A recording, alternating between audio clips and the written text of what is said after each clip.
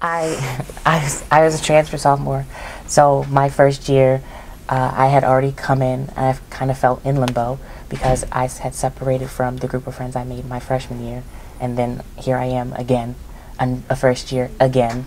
So I feel like I was going through that same. I, I don't really know what's going on again because I, you, when you go from being comfortable in whatever high school or whatever school you went to before, and then you come in again, it, it can be kind of jolting.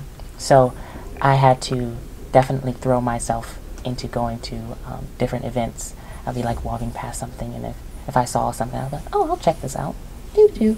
And um, I would make a beeline for the food, and that's where I bonded with a lot of people and found out a lot of information about just the goings on of, of UD.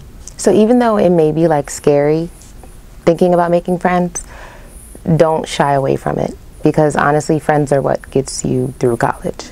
Truly and honestly, like friendships are what is gonna help you out a lot. I've known most of the same people my entire life coming from a very small town, so making those connections after not having to do so for so long was definitely challenging. Um, but something I tried to do was definitely being more open um, to meeting new people who had different ideas than me, different um, different interests than me, um, and basically that's kind of how I opened up to new people and made a lot of new friends that way.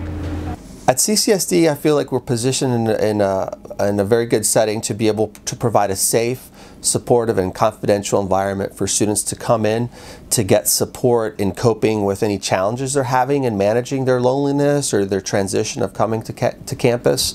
Um, and for some students, you know, challenges around making friends.